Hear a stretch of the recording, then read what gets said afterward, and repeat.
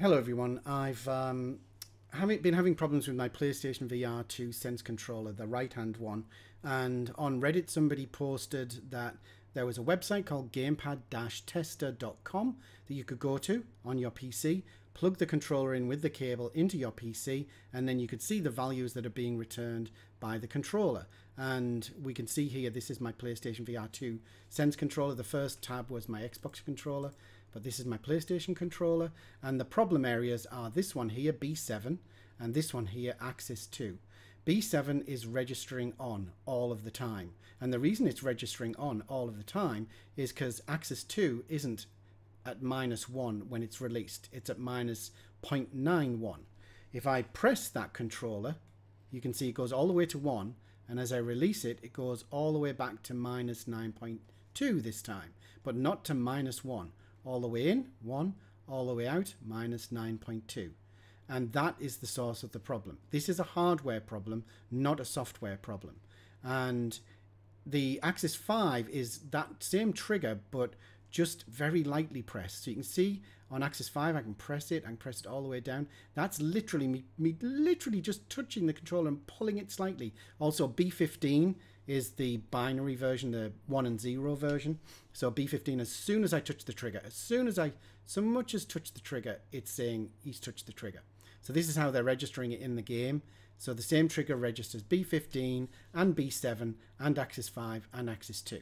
So that, but our problem ones are B7 is registering on all the time because it doesn't go all the way out.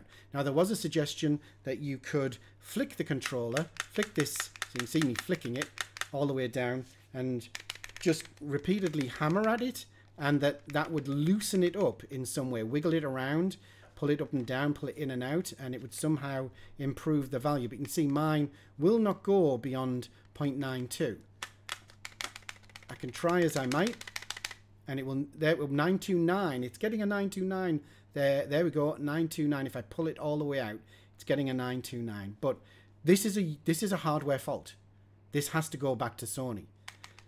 Nothing we can do about it. They, there were suggestions you could spray air into it or blow on it or something, but nothing. Use this website, give it a try, see if you can loosen yours up a little bit, but don't try too hard. There's no point in breaking the controller before you send it back to Sony. This is a hardware fault. They know it's a hardware fault, and they're just not telling anybody. Um, also, I, I'm a long-term PSVR 1 user, had a lot of love for it, and that's why I got into this straight away.